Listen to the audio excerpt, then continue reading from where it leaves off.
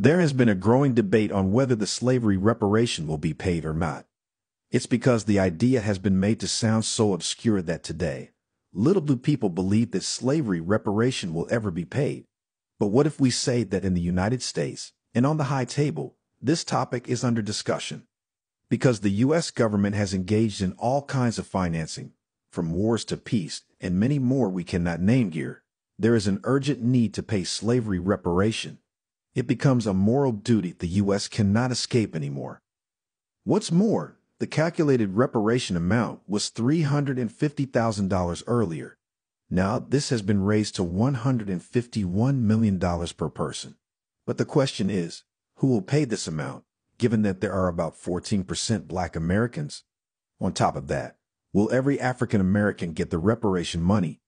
Watch this video because this is going to change how you think about slavery reparation. The Black History Archives. When the descendants of former slaves living in the U.S. ask for reparations, they often face unfounded objections. Some argue that since they didn't directly experience slavery, there's no reason for compensation. Yet what about those who inherited enormous wealth and land from their white supremacist ancestors?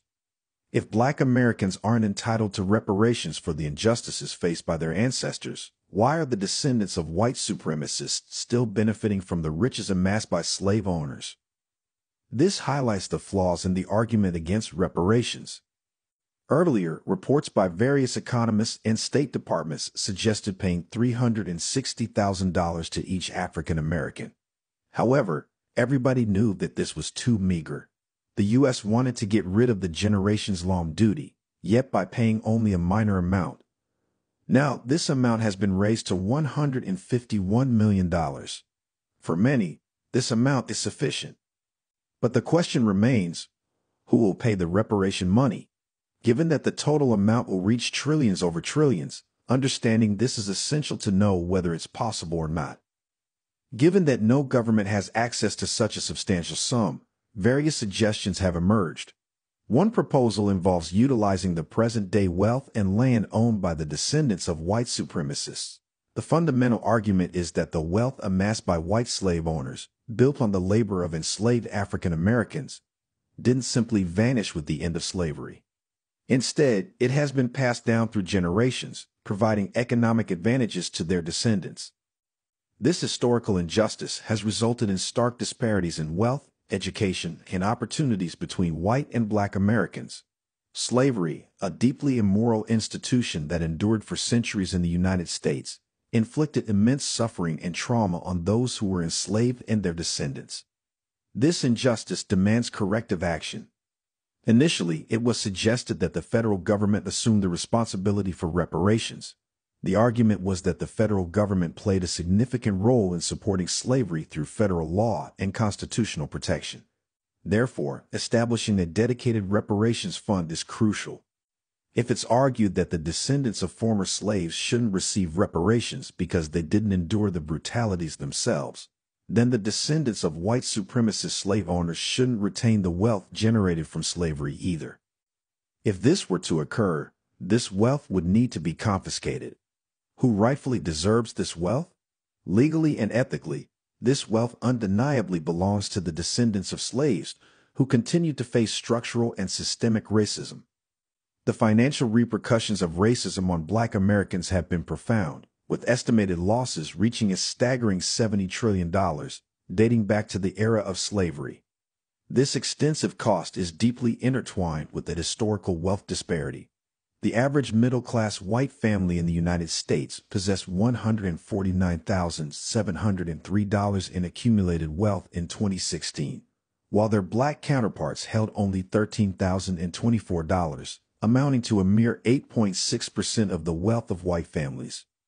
Shawn Rochester, the author of The Black Tax, The Cost of Being Black in America, attributes this wealth gap to the enduring legacy of slavery. In his book, Rochester meticulously analyzes how racism and discrimination have inflicted trillions of dollars in economic losses on black Americans over multiple generations, resulting in a total of $70 trillion. This discrimination has contributed significantly to the considerable racial wealth disparity visible today. The origins of the wealth gap can be traced back to 250 years of unpaid labor endured by enslaved Africans. While quantifying the exact value of this slave labor is challenging, estimates range from $24 to $97 trillion extracted from black slaves between 1619 and 1865. Rochester utilizes an average figure of $50 trillion in his calculations. Despite contributing their labor to build the nation, Black Americans did not receive a share in this wealth, currently owning only about 2% of U.S. wealth. Throughout history, Black Americans were systematically excluded from government-sponsored wealth-building programs. For instance, in 1863, they were denied access to the Homestead Act, which granted 160 acres of land to citizens in exchange for a nominal fee and five years of land cultivation. Over 70 years, predominantly white homesteaders claimed 270 million acres, valued at $1.6 trillion. Additionally, black Americans were excluded from the Social Security Act in 1935, resulting in a $143 billion loss, and the GI Bill in 1944, which denied benefits to black veterans, costing them an additional $45 billion. Here's a reminder to please support us so we can make more videos for you by subscribing to our channel and giving the video a like. We want to build a strong community and we need your support. Let's continue now. Even when black Americans attempted to establish their businesses and wealth networks, progress was obstructed or destroyed, often through violent means. The 1921 Tulsa Race Massacre where a white mob burned down black-owned businesses in the prosperous Greenwood district of Tulsa, Oklahoma, serves as a tragic illustration. Such disruptions and the relegation of black people to low-paying jobs contributed to the persistent wealth gap.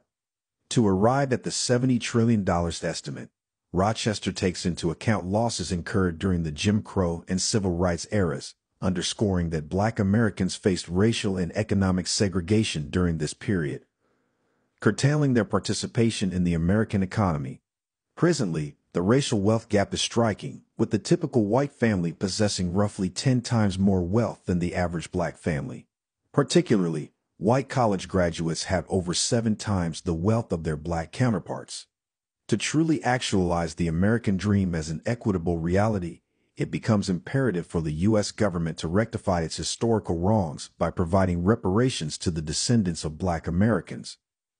Reparations should take the form of individual cash payments tailored to narrow the racial wealth divide. Additionally, these reparations should encompass initiatives aimed at wealth building while addressing disparities in education, housing, and business ownership. In 1860, the estimated value of enslaved black Americans' labor surpassed a staggering $3 billion, surpassing the combined investments in factories and railroads. The cotton produced by enslaved individuals in 1861 alone was valued at $250 million. This considerable wealth generated through slavery not only enriched white slave owners, but also propelled the nation's economy, all while stifling any opportunities for wealth accumulation among the enslaved. To this day, the descendants of enslaved black Americans have not received compensation for their labor nor has the federal government made amends for the lost equity resulting from anti-black housing, transportation, and business policies. Historical injustices such as slavery, the era of Jim Crow segregation, and discriminatory practices like redlining have systematically deprived black Americans of opportunities to amass wealth. Simply advocating for individual effort and behavioral change cannot bridge the racial wealth gap as evidenced by the fact that white high school dropouts possess more wealth than black college graduates.